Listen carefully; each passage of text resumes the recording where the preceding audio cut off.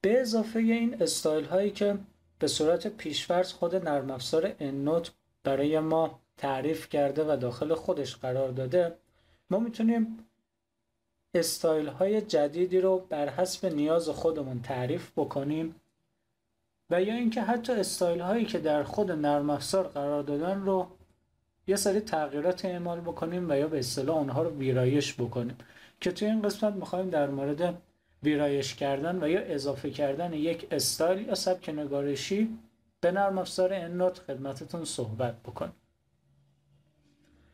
خب من کتاب باز کردم و همونطور که می‌بینید اینجا سبک های نگارشی متفاوتی رو دارم.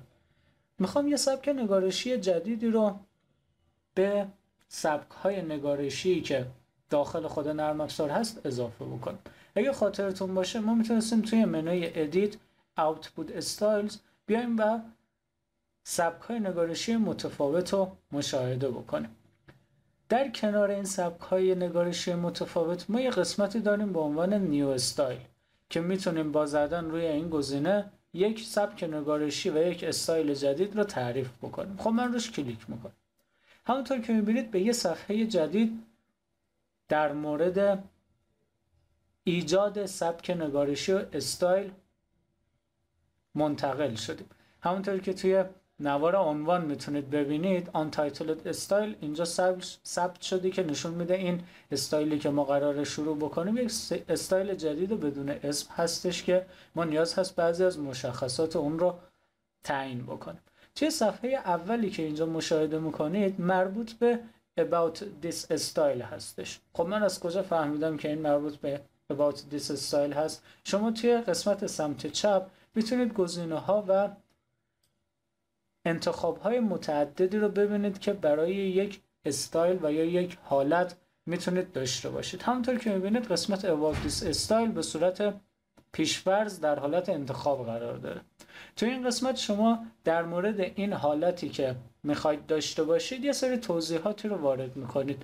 من جمله اسم این استایل رو می‌تونید وارد بکنید دستبندی برای اون مشخص بکنید و یا منتشر کننده یا انتشار دهنده و پابلیشر برای اون مشخص بکنید. یه سری کامنت ها و یه سری توضیحات هم می‌تونید در این قسمت اضافه بکنید. به اضافه این که شما می‌تونید توسط نوار ابزاری که اینجا قرار داره بیایید حالتهای مختلف نوشته شدن رو مثل حالت خطدار کردن و bold کردن و یا پانویس و زیرنویس رو هم اضافه بکنید.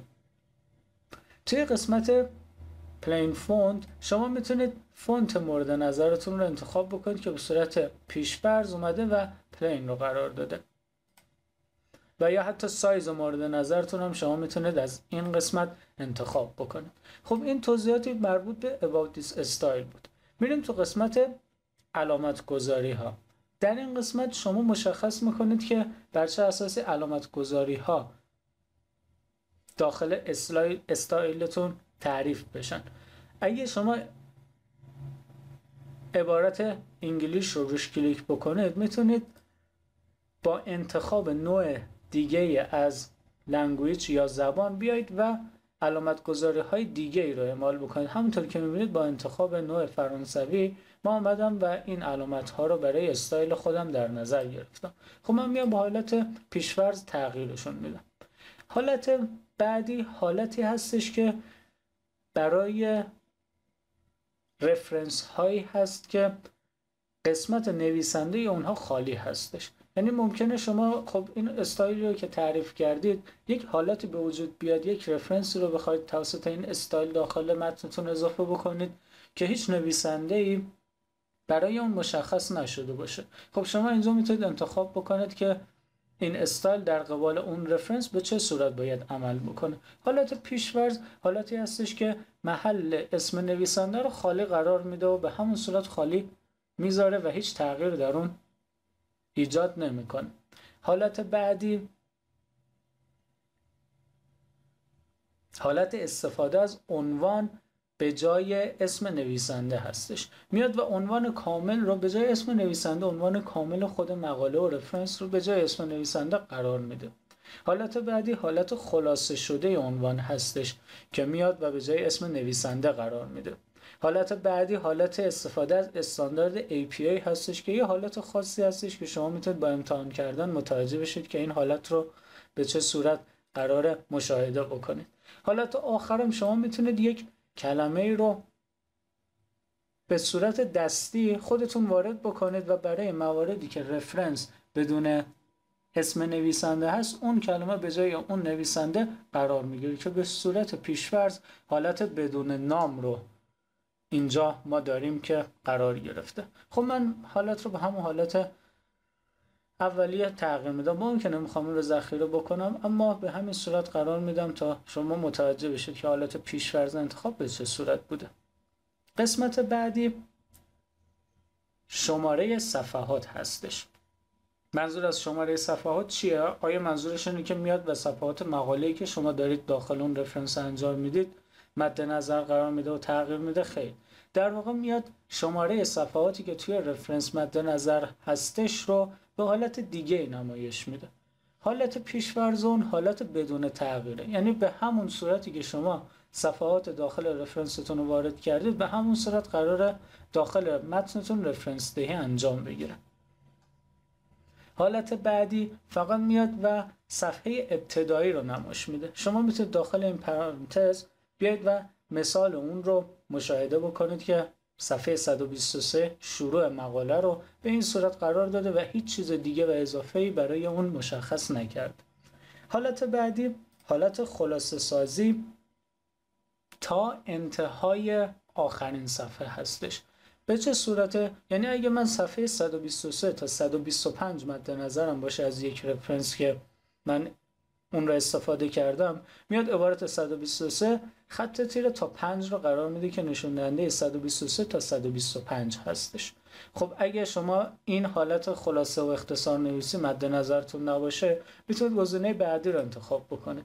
گزینه بعدی میاد و خلاصه نویسی از انتهای صفحه رو دوباره انجام میده با این تفاوت که دو رقم از انتهای صفحه رو یادداشت می‌کنه. یعنی اگه 125 قرار انتهای صفحات ما باشه میاد و عبارت 25 رو قرار میده. یعنی از 123 خط تیر 25 که منظور 125 هستش.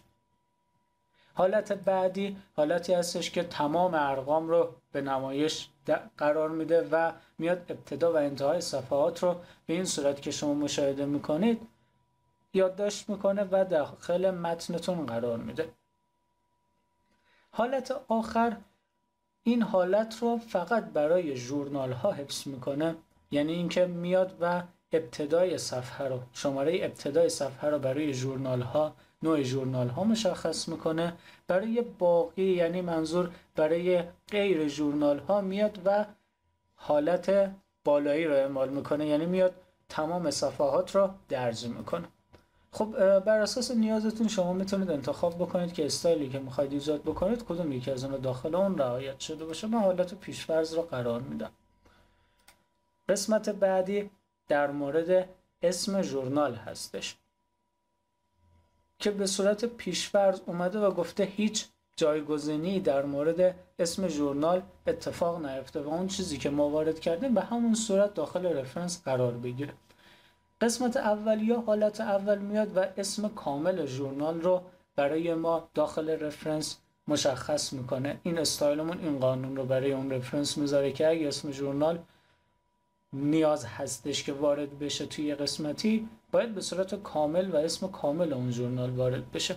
حالت های یک دو و سه که اینجا مشاهده می‌کنید حالت های اختصار و یا خلاصه کردن به سبکی هستش که خود نرم افزار تعریف کرده و شما با انتخاب نوعهای متفاوت یک دو و سه می‌تونید انواع مختلفی رو مشاهده بکنید. این دو تا تیک هم که اینجا می‌بینید حالت این تیک برای وقتی این تیک رو می‌زنید برای حالتی هستش که مقاله ژورنالی باشه و فقط برای مقاله ژورنالی میاد و این دستورات رو اجرا می‌کنه. اگه تیکش رو نزنید خب این استثنا رو قائل نمیشه.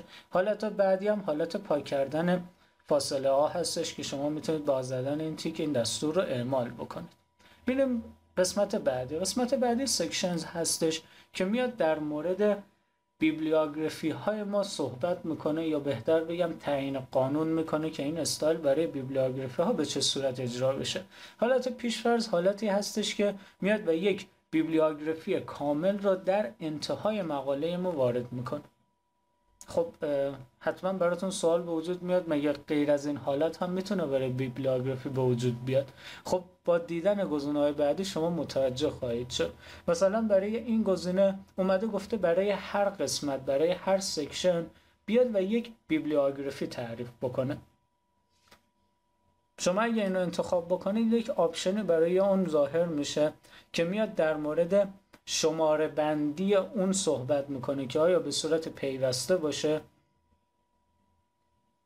و یا اینکه شما می‌خواید هر بیبلیوگرافی که توی قسمت های مختلف قرار گرفته به صورت جداگانه شماره بندی بشه.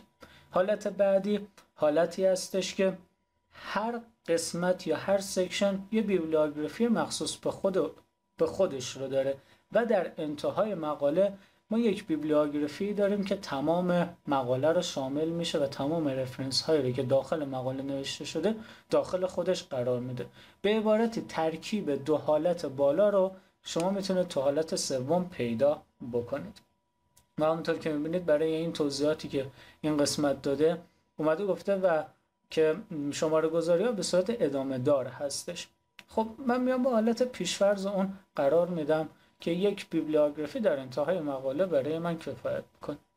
قسمت های سایتیشنز و بیبلیوگرافی داره قسمت های متعددی هستش که نیاز هست وقت بیشتری برای توضیح اونها قرار داده بشه که انشاءالله ما توی قسمت های بعد قرار این دو قسمت رو جداگانه خدمتتون کامل توضیح بدیم. قسمت های فوتنوت و فیگر تیبلز میاد در مورد پاورقی ها و جدول ها و اشکالی که ممکنه شما استفاده بکنید صحبت می‌کنه چون استفاده زیادی داره حالتی که ما داریم نداره. من آموزش اینها رو به عهده خودتون می‌ذارم و اگه فرصتی بود انشالله توی قسمت ها و یا توی مجموعه های بعدی میایم به این قسمت های نه چندان پرکاربرد رو خدمتتون توضیح خواهم داد. خب برای این قسمت به نظر کافی میاد. فقط یه مسئله. خب من میام و یک عبارتی یا یک new style ی رو می‌خوام ایجاد بکنم. بعد اینکه تغییراتم رو اعمال کردم این دوتا قسمت هم قسمت بعد توضیح میدم خدمتتون. برای اینکه بتونم این new style رو ذخیره بکنم فقط کافیه توی منوی فایل برم و گزینه سیو از رو بزنم. وقتی من گزینه سیو از رو می‌زنم دیگه منظور از save as save as خود library نیستش بلکه میاد و یک اسم استایل از من می‌خواد که من اینجا وارد بکنم و به عنوان اون اسم من بتونم این استایل رو داخل نرم افزار پیدا بکنم. خب به این صورت ما می‌تونیم یک استایل رو هم ذخیره بکنیم مثل که ما به صورت جدید ساختیم. خب این قسمت رو شما خاطرتون باشه. من چیزی رو نمی‌خوام فعلا ذخیره بکنم از این هم می‌تونم خروج رو بزنم و ذخیره عمل ذخیره رو انجام بدم. من no رو می‌زنم. می‌خوام در مورد ویرایش کردن یک استایل حرف بزنم. مثلا بر فرض نمونه IEEE رو ما اینجا به عنوان استایل داریم. من اگه بخوام این رو ویرایش بکنم باید برم توی منوی edit قسمت output style و همینطور که مشاهده می‌کنید ادیت آی تریپل ای رو من اینجا می‌تونم مشاهده بکنم. میام روش کلیک می‌کنم. بله.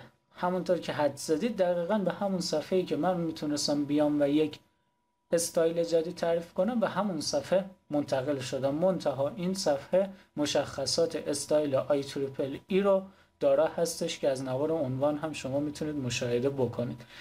همه اون field هایی که من خدمتتون صحبت کردم رو شما می‌تونید اینجا مشاهده بکنید که در مورد اونها یه سری اطلاعاتی وارد شده زمان ساخت اونها هستش punctuation ش رو شما می‌تونید مشاهده بکنید. در مورد خالی بودن page number رو می‌تونید ببینید. و قسمت های دیگه ای که شما می‌تونید در این قسمت مشاهده بکنید. خب بعد از ویرایش کردن شما می‌تونید هر کدوم از قسمت ها رو به حالتی که دوست دارید تغییر بدید. حالت citations و bibliography هم که تو قسمت بعد خدمتتون توضیح میدیم اینها رو هم اگه نیاز بود می‌تونید تغییر بدید و در انتها برای ذخیره کردن مانند حالت یک استایل جدید میایید و قسمت edit ببخشید قسمت فایل و سیو از رو می‌زنید. خب یه پیشنهادی که خدمتتون بدم اگه ویرایش در مورد استایل های پیش‌فرض نرم افزار انجام دادید سعی کنید یک تفاوتی در اسم اونها قائل بشید. مثلا به اصطلاح خود نرم افزار اینجا به صورت پیش‌فرض عبارت کپی رو در انتهای همون استایلی که ما اومدیم و اونو ویرایش کردیم قرار داده که نشون بده این استایل ویرایش شده است و نسخه خود یا بهتر بگم نسخه اورجینال خود استایل بدون تغییر و بدون هیچ گونه تغییراتی در مورد نحوه ارجاده یا اون اتفاق نیفتاده و موجود هست و شما می‌تونید با یک اسم جدید اون رو ذخیره بکنید تا در مورد فایل های اصلی و فایل هایی که خودتون ویرایش کردید اطلاعات بهتری داشته باشید. خب من چیزی رو نمی‌خوام فعلا ذخیره بکنم از این قسمت هم میام خروج رو می‌زنم و بریم قسمت بعد که دو قسمت باقی مونده رو خدمتتون توضیح بدم و ببینیم به چه صورت قرار کار ویرایش رو انجام بدیم.